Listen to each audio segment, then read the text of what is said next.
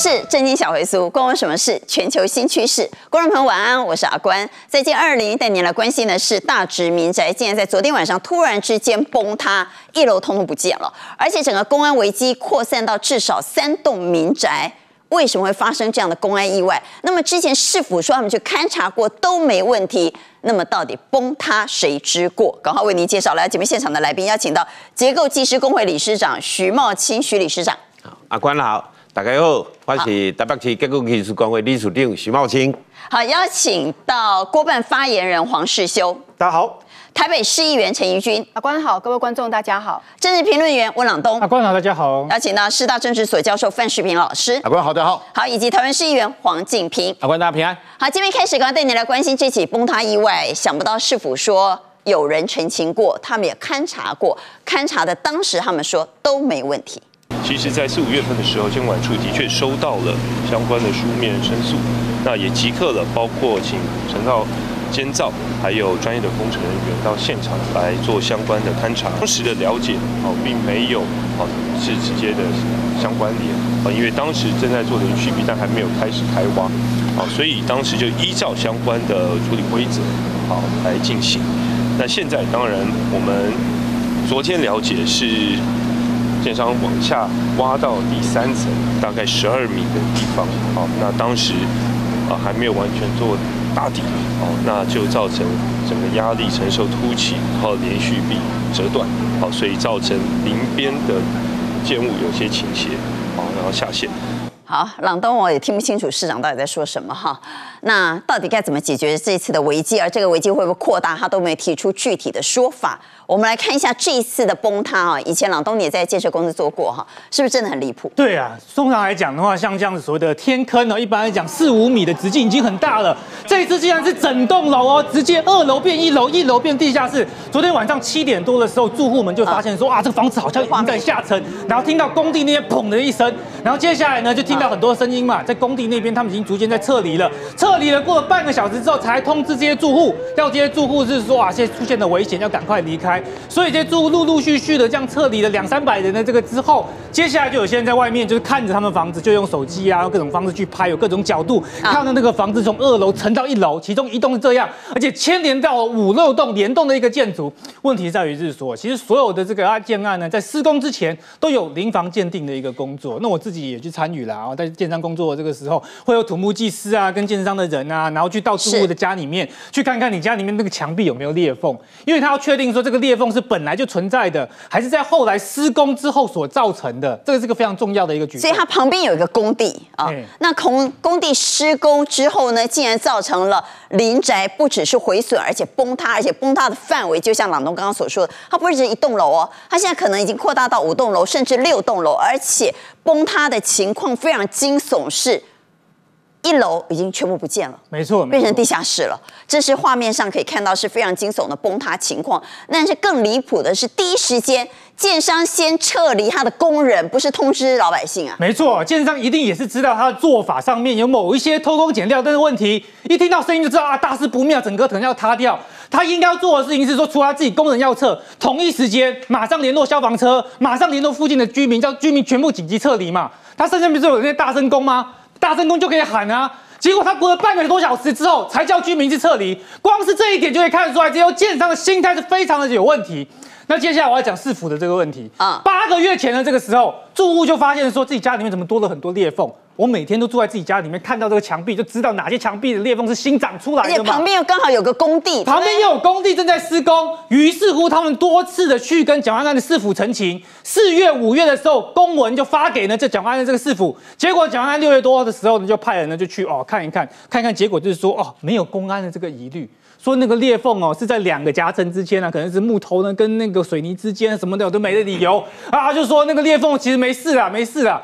结果现在呢，整栋楼这样垮下来，所以其实这事情非常的一个简单的是说，只要调出当初都发局还有最一开始临房鉴定的一个照片，就知道到底过程当中有没有伪造文书，有没有作假，以及市府到底有没有包庇这个建商啊。好，所以这不是草菅人命，什么才是草菅人命？宜君，你指控都发局说谎啊？都发局哪里说谎？因为其实昨天下午我人就在现场了，那我相信这个建设公司的这些、呃工地的工人，我们都比手画脚的跟他说，这个一楼哦，就是呃今呃我们今天所看到的是下线的这个公寓，我们已经告诉他说，这个它的门哈、已经弯曲的这个非常的严重，甚至那个门的栏杆整个扭曲，整个好像快被折断一一样，已经告诉他说这一层楼已经有问题了，但是在什么时候？下午什么时候？昨天下午大概四点的时候，，下午四点你就发现，竟然连门都弯曲了，这非常严重哦，地层已经下陷了。那崩塌的时间是什么时候？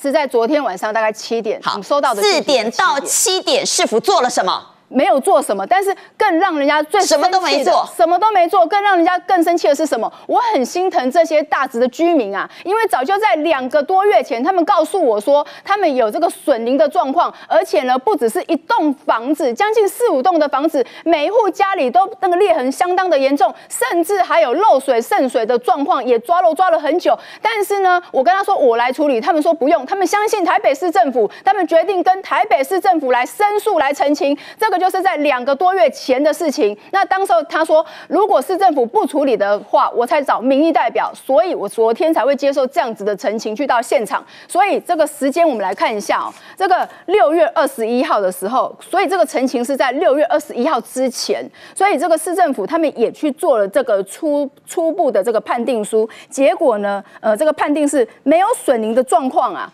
所以这个让这个呃在住在那边的民众感到心非常寒。那这个六月二十一号做完了鉴定，我们可以看到那这个鉴定单位是哪个单位？鉴定单位是呃这个这个建商啦，哈，建商跟他们找来的，哈的这个所以单位，这是由还有建商还有都发局都发局也有盖都章啊发局。对啊都都发发局会同建商找来的专业技师来做的鉴定。是没有错。那七月六号的时候，他们还甚至发文发文说，哦，这个呃，你看这个没有损林的疑虑哦，这个争议哦。那是谁发文的？然后台北市政府都那台北市政府都发局就要给我负责啊与列管，对啊，是啊，没有错啊。那其实早在这个七月六号之前，好、这个他们已经澄清台北市政府很多次了。那其实在，呃刚刚朗东说，其实居民陈情抗议已经八个月了。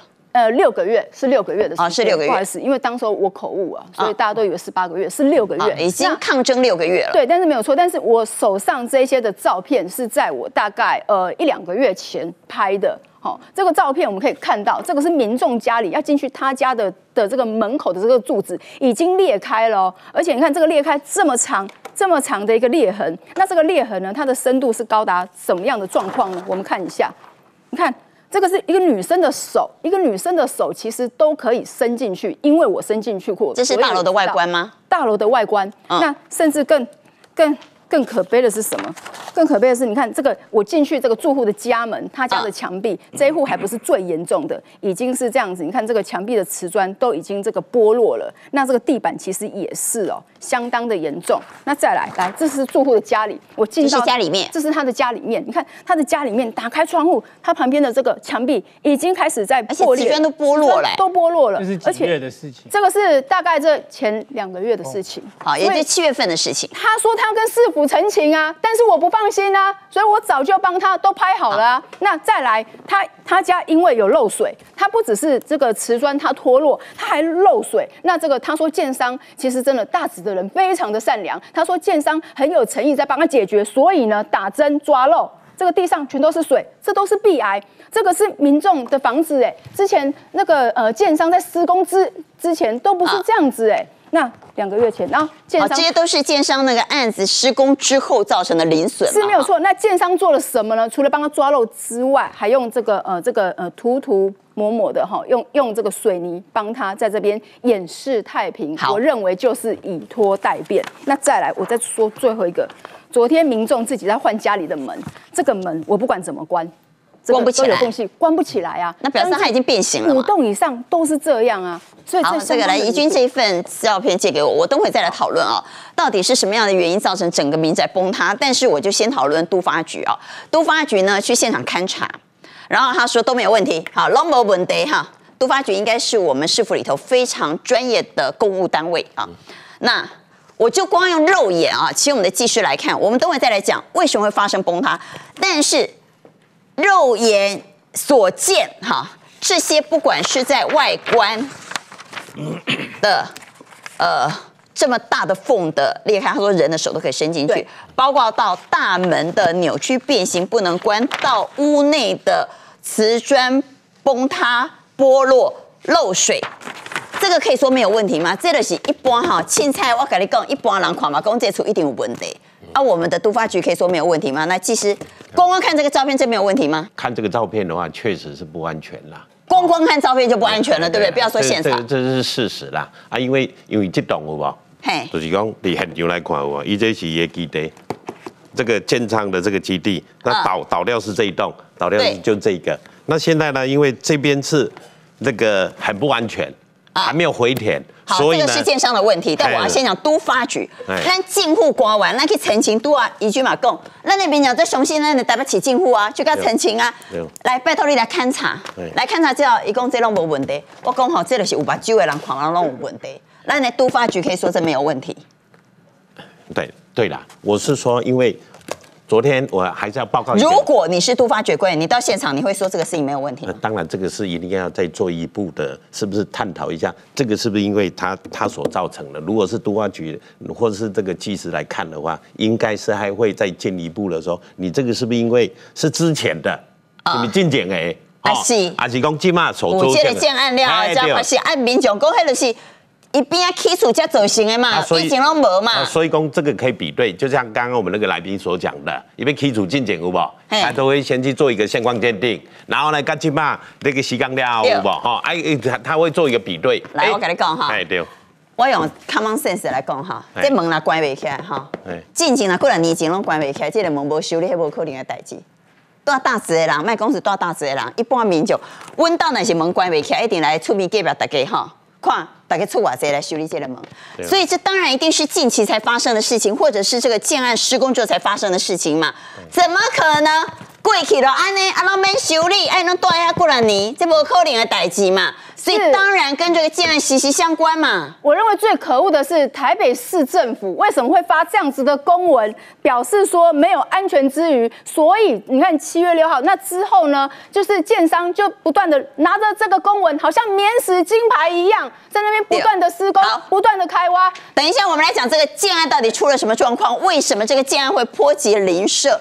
来，范老师，我觉得这些居民事先已经多次跟市府澄清哦，居民犯了什么错呢？就是太相信我们市府对，相信政府，他们甚至无奈到自力救济，在他们的大楼公寓门口贴一个号招，贴了用纸贴了一个招号号召招示说，我们这栋楼因为基态的因素造成哦内部的好到这个相关就是这个文，对不对？哈，住户好可怜了哈，为了居住安全哈，所以呼吁住户啊，密切注意你的住家是不是有发生呃龟裂啊各种情况。所以他说了，来，他说近期因为基泰建设施工，民众都认为是基泰建设，对导致本公寓一楼住户的室内室外墙面都龟裂，墙面阶梯之间出现裂缝，室内房门因为倾斜，甚至房门关不起来，房门关不起来哈。但是我们的都发局去现场勘察之后，说特等没问题，进安全。你想想看，门都关不起来，这个已经不是说我肉眼的问题，是直接感受。平常门可以关起来，对啊像门关不起来，我就说我把肌肉都怎样有问题对不对嘛这个是直相当危险的事情呢。门不关起来，就小偷跑进来怎么办？门关不起来，我的那你安全如何认为住户会门关不起来，长期不修理吗？哎对啊所以这是不可能嘛。发出非常微弱而无奈的对外求救的讯号嘛？可是为什么都发局视若罔闻，还做出这个鉴定说，哎，没有问题，大家啊，打一九股没问题，大家好好的住啊，这你们的错觉，把责任全部的往外拖，完全的帮基泰在保驾护航。我不要讲了，蒋万安，你前阵子去上海很风光，对不对？跟上海市长见面，哇，发表演讲，在上海慢跑啊，吸引了上海民众对你的欢迎。请问一下，这些在大直的居民，他们在那边嗷嗷待哺，等待你都发局的协助的时候，你跑去上海做你的个人政治秀，我合理怀疑基泰先生跟市府关系不错啊，没有错、啊。甚至跟都发局关系不错，我合理怀疑啊，啊然后今天因为更好笑这嘛只有看拢怎样有问题，像那都发局也讲特懂。然后今天更好笑，那个选区的立委是谁？王宏威。我只有在电视上看到宜君哇走来走去、跑来跑去啊，跟这些跟这个走来走去。好，黄宏威呢？我看他好像不见了。他不是最关心屏东了吗？停车场吗？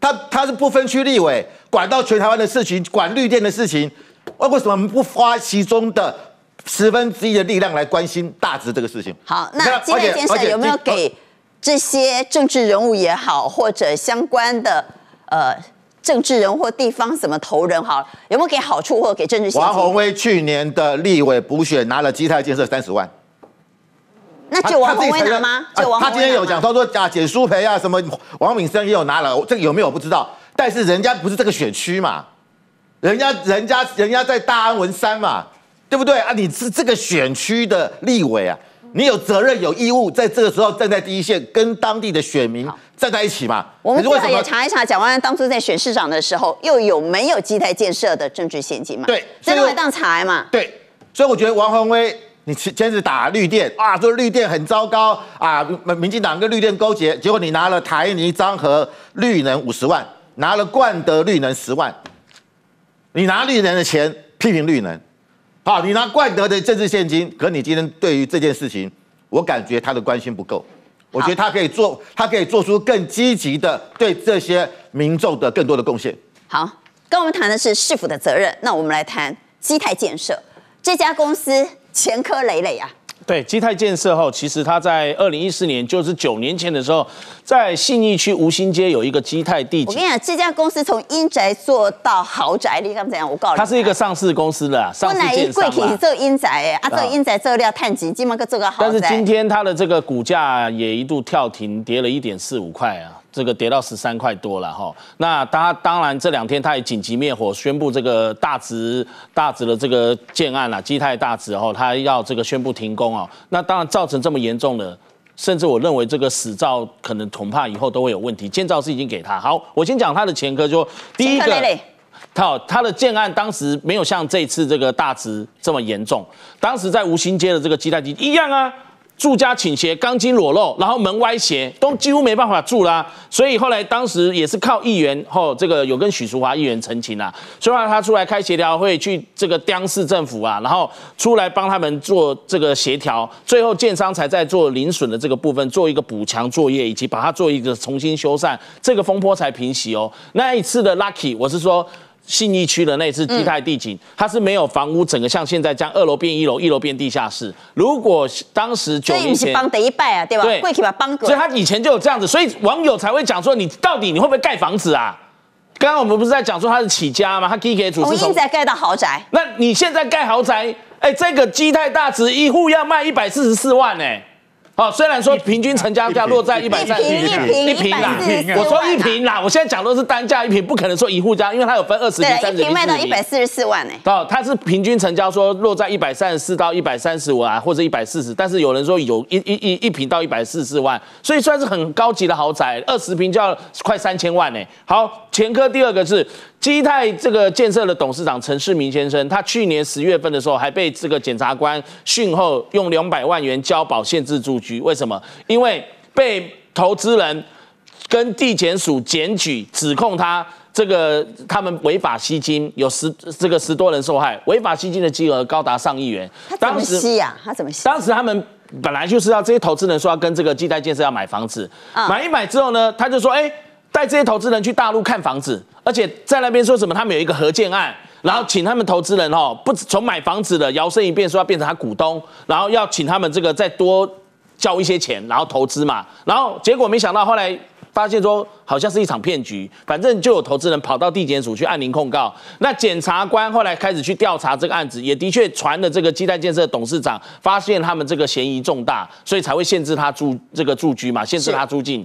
所以今天他被他也是这个案子被列为被告哦，那有投资人也去告他，所以这样的一个状况，你还是上市公司，那你是不是要讲清楚，你为什么从盖房子变成说要去大陆盖这个建案？第第三个这个这个他的一个前科就跟大家讲，当时啊，这个二零一九年还有媒体报道哦，那个陈世明他跟另外一个这个商人。陈世明就是基泰建设的当属定，对对吧，？他是当当属地主，他跟这个有一个钢铁大亨叫蔡奇奇蔡董，他跟他兜售一个上亿元的豪宅，还跟他说三年内哈，我再跟你原价买回。好，如果探钱我给你买等来。丢丢下，你很多建商都会这样啦。对对对。结果没想到，哎，你就算你讲的人没有当真，人家被听听的人被告知的人讲话，你讲话我会当真嘞。所以这个串当串当啊，蔡董啊，他就当真了。就没想到好死不死，二零一九年跟人家讲，哎，这两三年房价真的是不怎么样，还损失了上千万。跌价。那这个蔡董当然就不爽啦。哎，你当初承诺三年内要把这个房子买回，可是基泰建设不愿意履约啊，结果气得蔡董一状告到法院，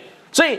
你当时承诺人家的，你又这个跳票了。那第四个这个黑资料也是，这是民进党立法委员高嘉瑜是在地的这个内湖南港的立委，他有提到，他说他昨天听到这个消息，陈义军议员去这个协助他们地方澄清，他一点都不意外。为什么？因为当时他们在送那个建造的时候，你要知道，建商在送建造。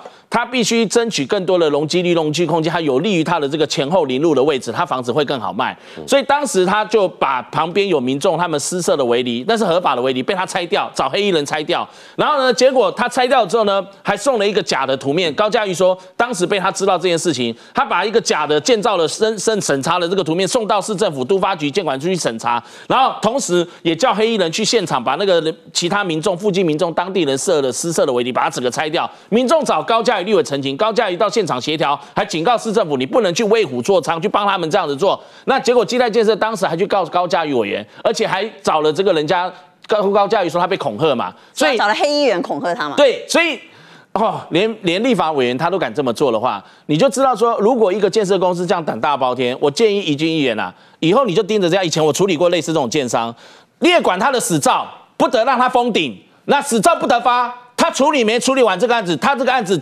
等于那个打叉，那他买了这个房子的住户当然很倒霉，但是他们会去告建商，你就要把这个案子从头到尾卡到尾，不准发死照，你不准再把房子卖下去，你看着这家建设公司怎么样把这个案这个案子完完整整的走下去，他要赔了可惨了。好，来怡君。这家公司是前科累累、黑历史一头拉骨的公司啊。不过在昨天傍晚大概快呃凌晨的时候，哦，他有透过这个中间人打电话给我说，他会负起全部的责任。那我们你说基泰建设吗？对对对，没有错。那所以我也希望说他可以说到做到。但是我个人的症结点是在于说，为什么台北市政府可以发给他这样子的一个公文哦，帮他背书，让他继续的的这个来继续的在那边呃工程继续的执行哦，才会造成。其实那边不只是有一个公。工地旁边有另外一个工地，两边同时都在出土啊，所以说这个才会造成。所以那边是两个工地，是两个工地。那两个工地，其中一个是基泰的工地，其中一个是基泰。那是基泰比较靠近这一次倒塌的民宅吗？还是对，没有错。但是我不能认同的是，蒋万市长他早上受访的时候，他说哈，这个因为哈还没有开始开挖了，所以就没有零损。我觉得就是鬼扯淡呐！两个月之前我早就去看过了啦，所以我认为市长说谎，不然就是被蒙在鼓底。好，我们来听高嘉瑜的控诉。在讲到我们现在所在的基泰内湖哦，在这个位置呢，在二零一五年我担任议员的时候，这里呢旁边有呃民众呃私有的合法的这个围篱，但是基泰建设呢。为了要申请建造、制造这个两边零路的假象，可以申请比较好的这个呃容积，甚至建造。因此呢，要求黑衣人硬拆民众的合法围篱。当时我在担任议员的时候，为此召开协调会，没想到基泰建设呢找一个蓝营的明代，不仅是私下呃来说情，甚至呢两面手法。一方面来说情，另外一方面找媒体哦来做恶意的抹黑报道，说我们在护航违建。但事实上，这个违例是合法的。当天呢，基泰建设不仅有找了监管处，也找了黑衣人来欺负民众，甚至事后基泰建设竟然还对我提告。好，我们希望高嘉宇还是把事情讲清楚啊。他说基泰建设当时找了黑衣人，找了建管处，同时还找了蓝营民代。这位蓝营民代是谁呢？有护航基泰之嫌吗？但我们还是回到这一次的重大公安意外，到底发生的原因是什么？哈，刚刚其实理事长谈到，这一次整个崩塌最严重的这一栋楼，就是一楼都整个不见的这栋民宅呢，非常靠近基泰大直案啊。那基泰大直案呢，现在有人质疑它的。防火墙也好，挡土墙也好，没有做好是吗？我跟各位那个报告一下，简单报告一下，这个是基泰大直案，这个是它的基地，是这崩塌的这个现场。那这个红色这个框框呢，就是最严重塌陷的一个区的民域。宅嗯哎，然后那个，然后我们再看一下，那旁边它是有一栋也是正在施工的一个大楼。好，所以说有两个建案嘛。对，但是它施工的方式是不一样，这是一般的传统式开挖，这是一般的一个逆档式开挖。所以逆档式开挖就讲，哎，一楼做好，然后做地下一楼，啊佫做地下二楼，哦，拢啊是就是讲反方向。啊，我们一般反方向啊，我们一般都是先挖地下传，统哎，是。从那个地梁，然后呢，那个地下三楼、地下二楼、地地一楼，然后往往上做这样啊，子。咱先啊，这个代志讲的清楚哈，来，哎你属定以你的判断，你的专业判断哈，哎，这栋出代志对吧？哎旁边有两个建案，对，跟这个建案关有没有关系？现在因为我直接判断，因为昨天崩塌的时候，对你有到现场吗我在啊。现场。那这边的路塌陷的很严重，这一边几乎没有塌陷。所以跟有没关系哎跟？不好，阿兰冷办公接的案，好阿兰来攻击的案。因为他自己本身也都整个倒塌了，对。然后呢，是包包括旁边的林路也都出现。只有这边。啊、这边啊、对。这个林路也都出现了崩塌，对。所以我们就来看到底基泰大治安、基泰建设这些大治安它是犯了什么错？刚主持人有提到，就是说他最大开挖的一个深度就是十一点九五公尺，十一点九五公尺，哎，十一点。我是外行了哈。哎，来，世修十一点九五公尺哦，一般来讲，那要不就十二，不是吗？十三、十四、十五，为什么要十一点九五？这里头有猫腻吗？我跟各位解释一下哦，在这个建筑法规上啊，这一个大楼它是地上十二层跟地下三层，它地下三层一般如果开挖到十二米以上，啊它必须要做结构外审。所谓的结构外审，它要配置至少五位的专业人员，包括了大地技师、土木技师、结构技师，就像理事长这样的专业人士，是去做整个结构外审。但是因为这个东西蛮麻烦的，所以很多的建商他是闪这个规定，就是说我挖到十一点九五米就好了。我就不用另外再请这些技师来做这个结构外审，它不但省成本，还省时间。因为这个结构外审通常要至少三个月的时间，所以你想想看，那是多大一笔费用那？他就很投机啊，是这他是投机巧妙的闪过，是，但是必须说规定就真的是十二米。你说他钻这个灰色空间，好像也不能说他犯法。问题是台北市这个地方的地质，它是一个比较粘土性的性质，所以它开挖的难度大致的它嫩地质比较软哦所以它往下挖的时候呢，它的难度比较高，成本也比较高。然后它还需要这些连续壁去支撑，否则它那个土壤会倒下来，所以它必须要去做一个支撑。那现在目前的情报是，好像当时在开挖这个地方，它的本身就做的不是很坚实，所以可能才导致了后续施工上，而且是还有影响到邻近的地区。对，但是细节我们还是要要在这里好我们还是要问一下李亚，所以李夏因为到了现场嘛所以你看到的状况啊，啊，那现在因为它是开挖到十一点九五，但是问题是就是说这个是只有局部啦，因为很牛啊，我有要看，你有去要看哎，我要看啊，就是说因为它没有说完全都，那一些欧哥下面听到已经也挖到差不多底了。啊，挖到点啊，哎这个地方就是他要做 B 到做到 B 三嘛，哎所以他已经挖到 B 三了，哎对吧？哈对对啊，那当然就是说，因为现场去看的时候，昨天是接到那个处长的一个电话啊，那差不多是八点多啊，八点多我们就到现场啊，到八点多到现场的时候，我们就感觉到已经有声音了。也就是说，叭叭叭，已经有有声音出来了，那表示说这个，表示说这个支撑有没有，它一定有状况了啊，所以我撑不住哎，就快就是一定有这个预警的一个危险了。那我们就说啊，如果待在这边，我们自己我们自己也很危险。真的，我说啊，我们就到外面来，到外面来啊，结果差差不多十一点左右，十点多到十这个十点半之间，就整个崩下来。鬼崩了，哎，就会崩崩崩下来。那我再我再解释一下，就是说它现在一个崩塌的一个状况。所以你看哦，是不是旁边的这个马路有没有崩塌的这个灰马路上也崩塌的也蛮严重哎，蛮的哈。蛮这个比较严重嘛。那当然，这是整个支撑都失效了。啊，临房在哪里？临房就这里。啊，就这栋嘛，哎好，啊这栋临房哎一路出事就这栋一路。往往这个我们这个基地这边往后翘啊，哦所以歪起啊哎对对歪起啊哎对，好，这是一个，好，那第二个的话就是说，我再解释一下，就是说，因为本身这个大直地区它就是一个软弱土层，哦，啊，软弱土层的话，软弱粘土层嘛。哎哎，软弱粘土层，啊，所谓的它的这个等于说也承载力哈，能种种烂美啦，哦啊，种烂美型啊，你这边当然我们这个现在土地的很稀有嘛。哎所以你就是说土地的价值非常高嘛。那你这个你要为了要这个呃我们地下室又要开挖深，啊为什么要开挖深？因为人家嘛每一楼拢爱有一台车位嘛，哦所以说他就往下挖，啊往下挖的时阵，啊你都在都有这烂头的时阵，你要开挖这个地下室，你势必要增加这个我们旁边的这个连续壁、挡土壁，啊挡土壁的话，你一定要够深，不然的话它就会把它翘起来。所以它这个挡土壁做的不够深吗？也不一定不够深，因为怎么样？我们去的时候有没有？它已经有状况了，啊，现在只能够 follow 图面。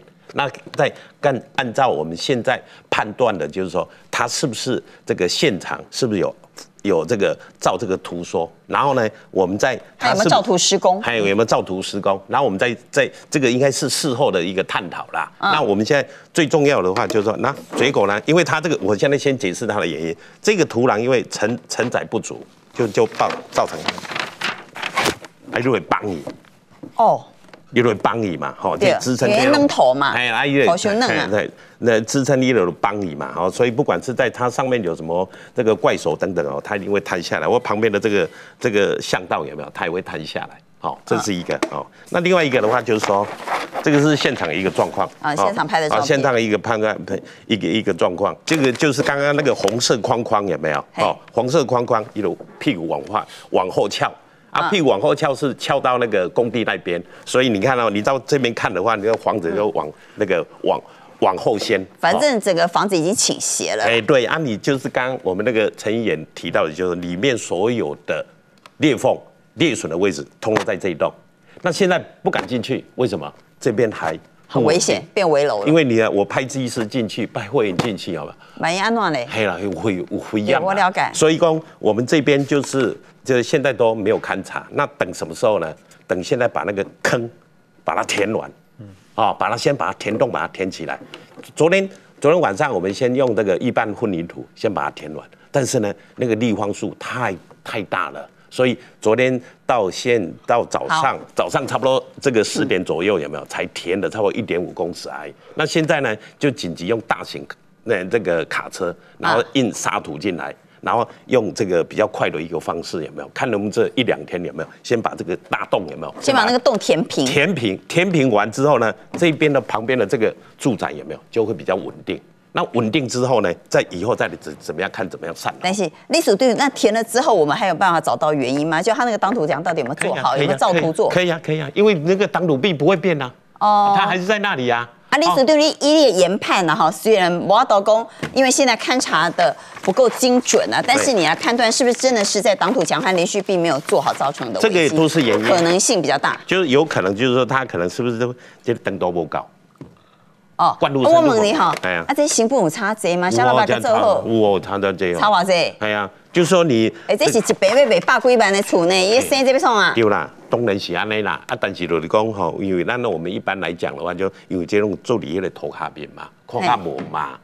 啊，所以看无，所以了，看但是不是有可能？是不是有可能偷工减料？对吗？不，应该不排除不，应该是这么说啦。就是说，以这个商业利益来看的话，就是说地下工程有没有？它都摆在地下室嘛，哎你看不到嘛。你不像那个商务建筑物的话，哦，我家泰鲁用较水嘞，那个什么大理石用较水嘞，恁看较有嘛？但是这个安全息息相关呢所。以这个就是安全嘛啊，所以呢，你就你这个建商要有那个职业道良心德，良心要有那个良心啊，良心嘛要求啊你这么这个么这个这个么一一个崩崩塌有没有？你损失的这个代价有没有？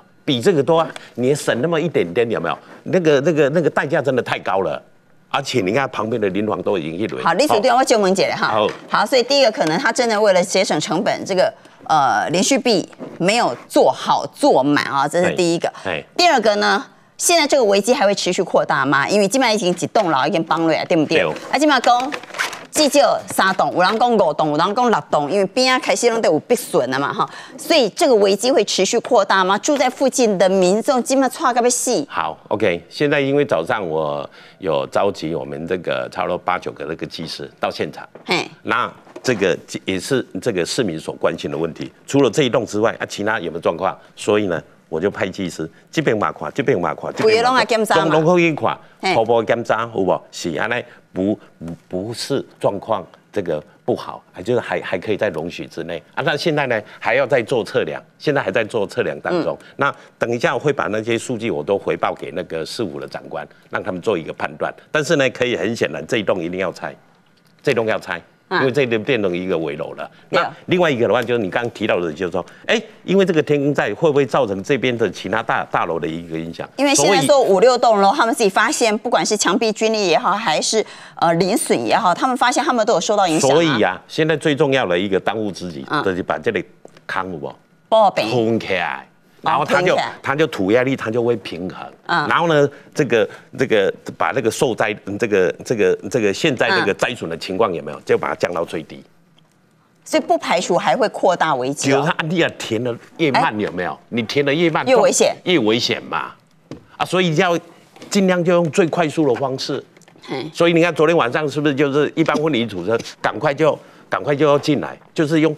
一里一里空，一里空一里，把那把把那个坑洞有没有先把它灌起来，哦，让那个土压力平衡。旁边的这个什么，因为旁边也有那个学校嘛，道明学校嘛。你看这个旁边的道明学校那个操场有没有，都已经这个龟裂了。哦，连学校都受到影响。哎，刚刚不是说那个巷道它不是塌陷吗？嗯，它巷道的旁边就是道明学校，就是美国哎，好美国学校，这个美美美籍学校啊，哦，这样啊，他。旁边就是一个大操场啊，大操场它就我们有进去排的话，它就有那个像这个 PU 跑道有没有都已经龟裂了。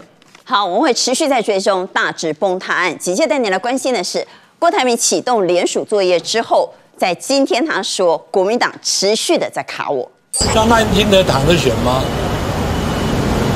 我绝对不支持，但是这是个过程。当我连署到一定的程度，那正我。给了很多的阻挠，我现在要联署也是一样啊，他也开始给我很多阻挠，对，他不阻挠，他就不叫民进党。我真的嘛，我们整要先联署，他一定给我改的，他最好是我联署不成功。好，所以我们看到郭台铭说我联署路非常艰辛哈，不是只有国民党卡我，他说民进党也卡我哈，所以之前呢他在联署之前，大家就说他一旦启动联署，民进党会帮忙。不见得有帮忙了哈，但是到底是国民党、民进党在卡郭台铭，还是这些派系龙头、派系要角自己打退堂鼓呢？现在来说谈钱很俗气啦，好，郭董讲了，但是还是要讲。现在地方传出来说，哎，呃，郭董不是说之前要办一些活动啊，嗯，要这个你要知道办活动造势游览车要先订呢。现在是选举旺季，现在不到半年了，通常很多东西你要去跟游览车的这个公司业者 booking 起来，还有包括地方派系也传出来，本来讲好的要跟他们订这些什么音响设备的这些厂商，那要他们派系去找人找厂商，怎么活动后来取消了，定金也还没付，结果这样子，后来他们就那怎么合作？就讲说郭董那边申请的这个钱啊，可能要按照这个大公司的实报实销。那请问他们到底这个钱怎么付？那如果地方派系没有这些钱去帮他们去找人、找厂商、找动员去 booking 的话，请问要怎么进行下去？那郭董当然就没办法怪人家，没办法怪地方派系说，哎，就不帮不帮你动员，不帮你找人，不要场你活动场次也先后取消，那你怎么办活动？那人家看到的这个并不是像大公司要申请核销单据干嘛的，或者是办活动这么繁杂。通常选举跟这个企业不一样哦。那那静友问一下哈，因为你有很多选举的经验，变算计跟我发抖，行行让我发票啊，不可能，甚至你有些可能就是没有收据，如果。除非你有些公司它有登记公司，比如说什么可能会拿不到发票呢？啊，你比如说你可能要你要叫他们那个坐五台车，他可能就没发票啊，或者是你要做什么样一般的这个你出来做那个动员的时候，游览车他可能还是有发票，还可能还有收据，不见得是发票，所以不见得每一个选举活动你都有发票收据可以去取代，你可能还去厂商可能还去找收据，而且他会跟你讲，如果要找发票找收据，他们要负担那个成本，要百分之五的钱呢。好。那郭董可能是企业家出身呢，他认为，哎，财务要走标准流程 SOP，可是，在选举上好像行不通，哎。我就说他不是一个老练的政治人物啊。我们自己，我自己打过选，非典政治人物。我打过选举，我打过总统、县市长跟立委啊。确实，在选举的过程中，很多的金流是甚至现金交易。所以现在是不是因为经费核销的问题，造成很多地方派系打了退堂鼓？但这倒不是主因，不是主因吗？因为那一些过去郭董在六月份、七月份的时候，也都过办过这些地方的活动，那这部分的这些付款啊、支付啊，其实都没有问题的。那为什么现在才突然传出这个声音呢？其实主要还是国民党在坚壁清野嘛。真正被国民党卡的是党纪的部分，包括我们在参选前几天，我们就跟地方空有沟通说，当天参选就感谢各位，但不用来，因为我们已经知道国民党要动手了，所以我们都尊重他们。那之后我们联署开启之后，你们要怎么透过自己私下的人脉找那些没有党籍的朋友帮忙，我们也都尊重。所以世修认为。关键不在经费核销，关键在国民党寄出了党纪，让这些过去挺郭的动不了。来，老师，对，你看这个范成廉，他因为跟郭董同台，在那个客家大会上啊，结果呢被停权，然后已失去了中常委的资格。哎，客家委员会主委，客家委员会主委没有了。他他结果他礼拜三中常会跑去国民党中央党部，要找朱立伦，找不到。去敲黄建庭秘书长的门，找不到，两个人都不理他。哎，我不想讲朱立伦什么时候这么有底气啊？之前你们这些议长对不对，都跟这个郭台铭同台，嗯啊，我们千拜托万拜托，你们理都不理，不当回事啊。我们看还包含像这个彰化县的议长啊，甚至我都退退党了，我根本不屑一顾。南投县的议长也退党了，跟你中央对着干，那朱立伦好没面子啊。啊，整个党主席大家不认为你根本是个虚位的嘛，你没有实权嘛？哎，我这次虎头铡砸了范成廉，会痛哦，范成廉痛喽，跑来求情喽。所以我觉得朱一伦啊，这两天心情非常好，我的主席终于有实权了，我的虎头铡一砸，大家会怕。那为什么呢？因为范成廉他拿了国民党中常委这个身份到对岸去的话，是走路有风的哦。因为对对岸来讲，嗯，你国民党虽然是在野党。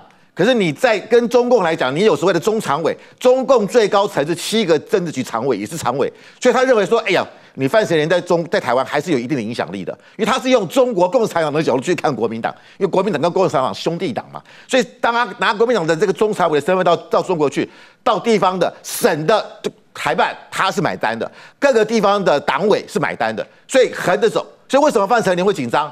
我没有中常委这个身份，我就对外怎么办？我怎么瞧事情？我怎么处理啊？一般台商的陈情案，所以我觉得这这这个这个是打蛇打到七寸上了。好，这个国民党真的下了重手哦，难怪郭台铭说杀自己人比杀敌人还要来的凶狠。范成年的这个中常委感觉一样对付自己的同志，与对付自己的敌人还要凶残。我不晓得国民党在怕什么，我们国民党不能再输了。但我不是国民，对不起，我不是国民党人，我不讲错话。主流民意不能够团结，他用这种手法破坏团结，到底那是谁在破坏团结？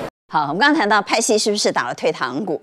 那其实对郭台铭而言，如果要做联署或者要做陆军动员，更大伟的是榆林张家，是花莲王。现在是不是连榆林张家的是阿 B 呀？哈，嘎。小富是不是弄 guilty 啊？有没有这种情况？其实，因为我看到好像他们现在不管是积极度也好，或者是媒体曝光度，因为过去郭台铭走到哪里，让看到音嘛哈，基本上没看到啊，甚至张立善还出来大声抨击哎。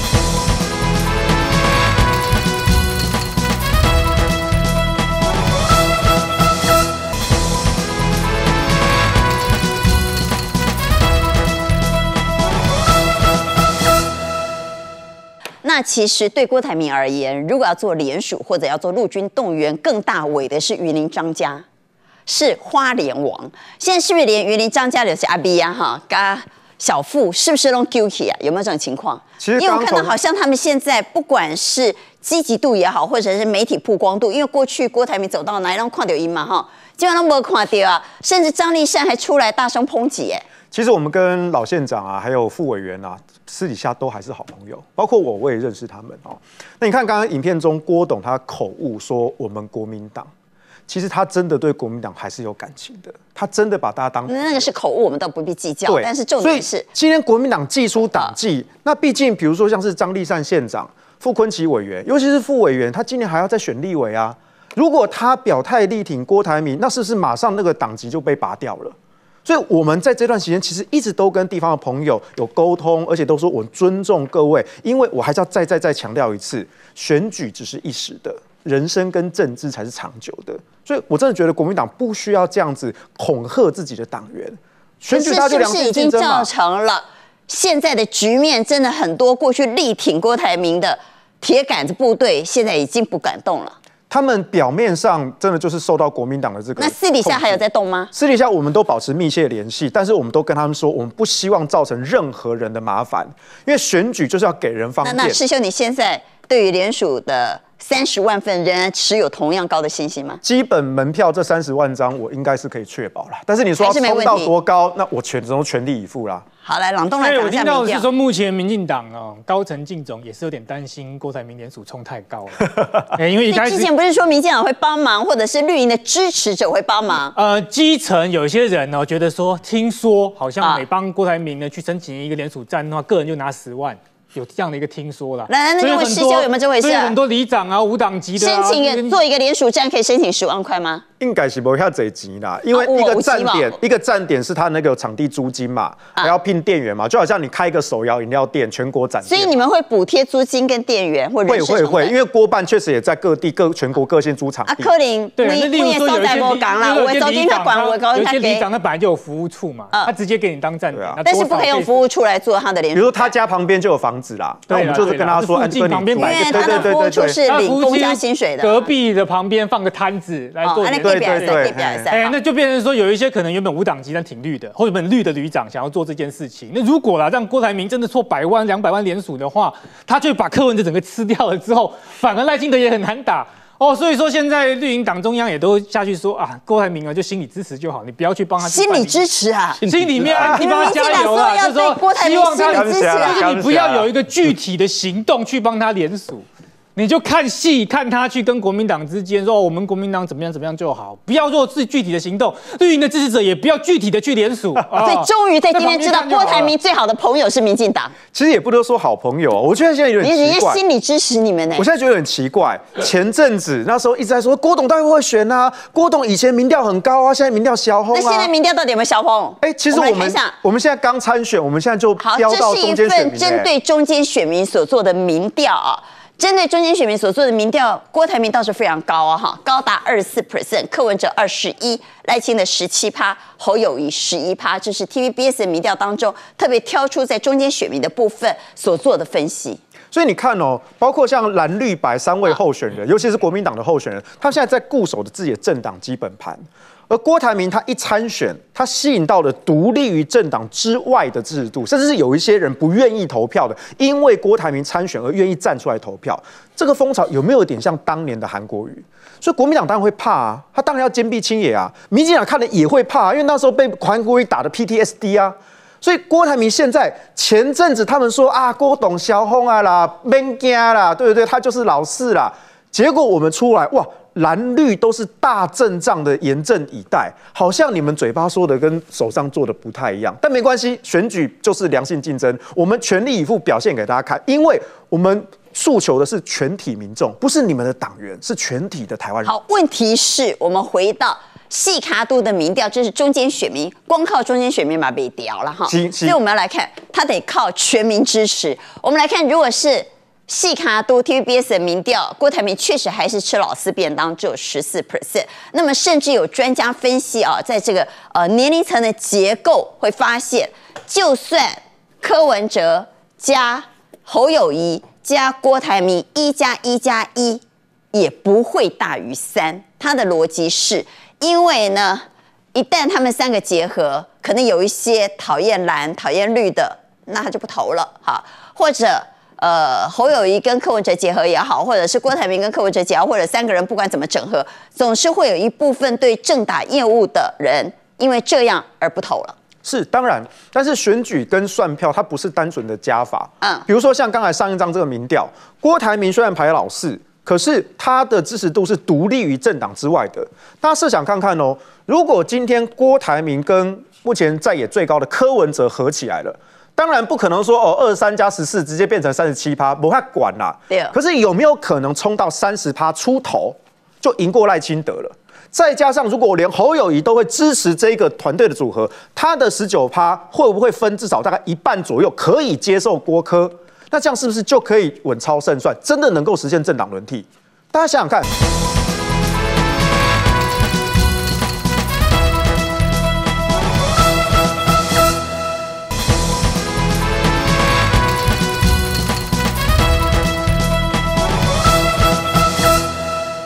家想想看，我今天那到底当然不是说什么时候见面呢？现在就是大家在约嘛，现当然好像僵在那里我。感觉上周整个国民党的那边的方针好像有些改变。因为我连续看到他们有些操作，一方面说哦，我们已经跟民众党已经准备要九月先谈立委，十位再谈总统，结果隔天民众党说胡说八道，没有这件事情。可是因为我太熟悉国民党了，国民党长年以来这就是他的风格，放话的操作的风格，所以我也觉得很奇怪，就是上周明明所第一时间三只小猪碰面之间是还没有新的突破和进展，目前还是原地踏步。进度好像卡住了，因为第一时间侯市长接球说愿意喝咖啡，我们很开心。对但是但是后来过了几天，国民党开始坚壁清野，侯市长那边我们一直保持联系，可是好像一直没有具体的进度推进，所以我们判断是有一些主战派在阻碍整合。